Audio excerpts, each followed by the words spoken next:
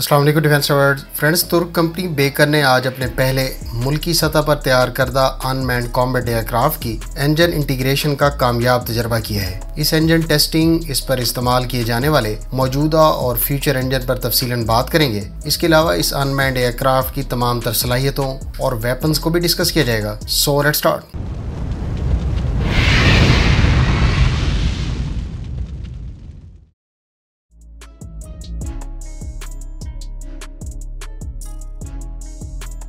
तुर्क company Baykar के तैयार करदा कजिल इल्मा अनमैंड एयरक्राफ्ट की इंजन इंटीग्रेशन को कामयाबी से टेस्ट किया गया है। इस बगैर पायलट एयरक्राफ्ट के पहले प्रोटोटाइप को इस इंजन की टेस्टिंग के लिए टेस्ट बेड के तौर पर इस्तेमाल करते हुए ये टेस्ट सर अंजाम दिया गया। इसके बाद इसके कुछ मजीद ग्राउंड टेस्ट और फिर फ़र्स्ट फ़्लाइट कंडक्ट की जाएगी, जो अगले साल मार्च में मुतव है। इस अनमैंड कॉम्बेट एयरक्राफ्ट को Ukrainian साख्ता A I twenty five T L T engine से पावर किया गया है। अलबत्ता इसके लिए एक मजीद यूक्रेनियन साख्ता इंजन इंजन को भी इस्तेमाल किया जा सकेगा, जिसको A I three double two F कहा जाता है। इन दोनों इंजन से मुतालिक तुर्क कंपनी का यूक्रेनियन कंपनी के साथ एग्रीमेंट नवंबर 2021 में ही तय पा गया था। इन दोनों इंजन की अगर बात करें तो A I twenty five T L T दरअसल इस अनमैंड कॉम्बेट एयरक्राफ्ट के ए वर्जन को इक्विप करेगा, जबकि ये इंजन इससे पहले याक फोर्टी और चाइनीज़ साफ्ता के ट्रेनर में भी इस्तेमाल हो रहा है। ये इंजन ज़्यादा से ज़्यादा सोलह आशारिया नौ किलो न्यूटन थ्रस्ट फ्राहम करता है, जबकि इस इंजन से पावर्ड कैजलिल्मा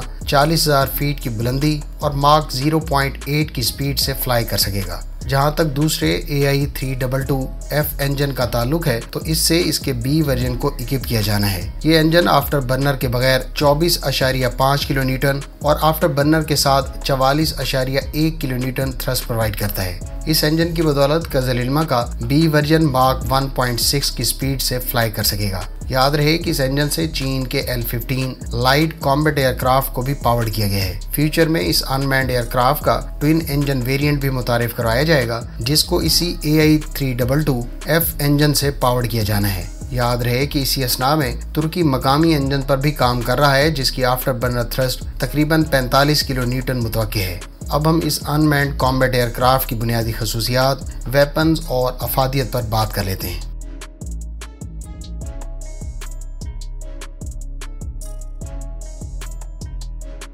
टेक्नोलॉजी की तेज़ रफ्तार तरक्की के साथ साथ ये पेश गोई की गई है कि मुस्तबिल में फ़िज़ाई लड़ाइयाँ बगैर पायलट के लड़ाका तैयारों से की जाएँगी। यही वजह है कि डिफेंस डॉक्ट्राइन हर गुजरते दिन के साथ बदल रहे हैं। इस सूरत हाल को लेकर तुर्की की बेकर कंपनी, जो इससे पहले टी बी टू और अकिंजी ड्रोन मुतारफ करवा कर पूरी दुनिया में शोहरत हासिल कर चुकी है, उसने तुर्की का पहला अनमैंड कॉम्बेट एयरक्राफ्ट तैयार करने का ऐलान किया है। ये तुर्की की फ्यूचर कॉम्बेट प्रिपरेशन के लिए बहुत अहमियत का हामिल प्रोजेक्ट है। इस एयरक्राफ्ट को तुर्क जबान में किजल इल्मा यानी सुर्ख सेब का नाम दिया गया है। इस प्रोजेक्ट को 20 जून 2021 को अनवील किया गया था।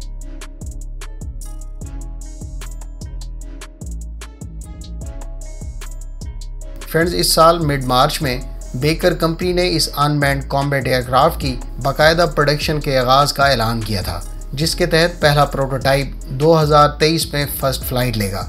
एन मुमकिन है कि अकिंजी ड्रोन की तरह, जिसने फ़र्स्ट फ़्लाइट दिसंबर 2019 को ली और इसको डेढ़ साल बाद, यानी 29 अगस्त 2021 को बाकायदा सर्विस में शामिल किया गया था। इस टाइमलाइन को मद्देनजर रखते हुए किजल इल्मा यानी सुर्ख सेब कहे जाने वाले इस अनमैंड कॉम्बैट एयरक्राफ्ट की बाकायदा इंडक्शन फ़र्स्ट फ़्लाइट के एक से दो साल बाद देखने को मिले। यानी मुमकिन तौर पर यह एयरक्राफ्ट 2023 से 24 में तुर्क आर्म फोर्सेस की सर्विस में बाकायदा इंडक्ट हो सकता है।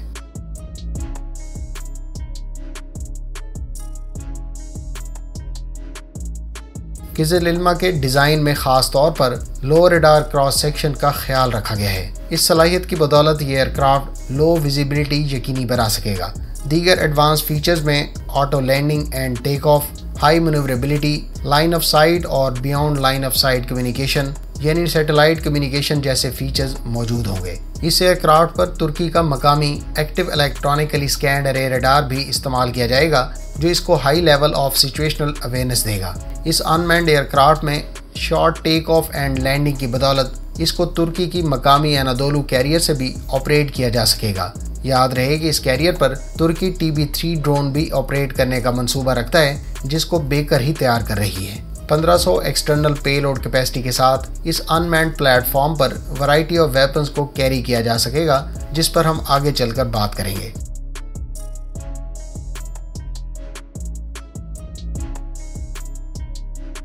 इस अनमैंड कॉम्बैट एयरक्राफ्ट की अगर बुनियादी खसूसियात की बात करें तो इसका कॉम्बैट रेडियस 920 किलोमीटर से जायद और ये 35,000 फुट की बुलंदी पर ऑपरेट कर सकेगा।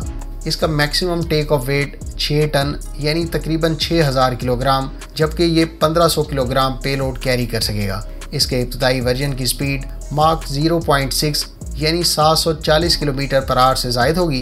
तहम बाद के वर्जन जिसमें ज़्यादा पावरफुल इंजन इस्तेमाल किया जाएगा, उसकी बदौलत इसकी स्पीड मार्क 1 से 1.5 के दरमियान एक्सपेक्ट की जा सकती है। किजल इल्मा पाँच घंटों तक मुसलसल फ़िज़ा में रहने की सलाहियत का हामिल होगा।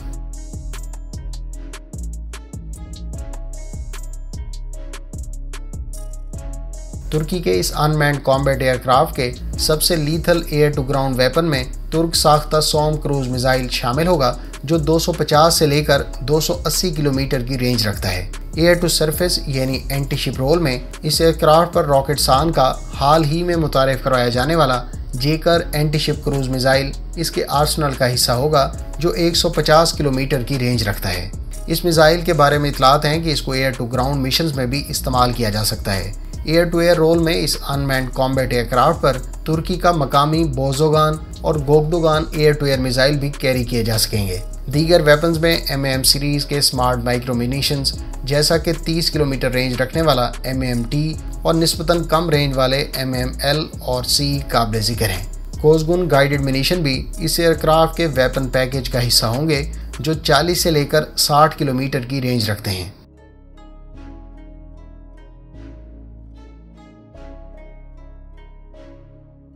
फ्रेंड्स, तुर्की ने माशाल्लाह अपनी दिफाई सनत में आज से 10 साल पहले जो इन्वेस्टमेंट और प्लानिंग की थी, आज उसका फल उसको बखूबी मिल रहा है। तुर्की की दिफाई सनत न सिर्फ़ मुल्की एक्सपोर्ट्स में कलीदी किरदार अदा कर रही हैं, बल्कि तुर्की अपनी बहुत सी डिफेंस ज़रूरियात भी मुल्की सतह पर ही पूरी कर रहा है। तुर्की मुल्की साख्ता बहुत से वेपन्स आज खुद बनाने के काबिल हो गया है, और सबसे अहम बात यह है कि तुर्की ना सिर्फ़ इन वेपन्स को तैयार कर रहा है, बल्कि इनके सिस्टम्स सब सिस्टम्स और मिज़ाइल्स के अलावा छोटे मोटे कंपोनेंट्स खुद तैयार करने की पोजीशन में है।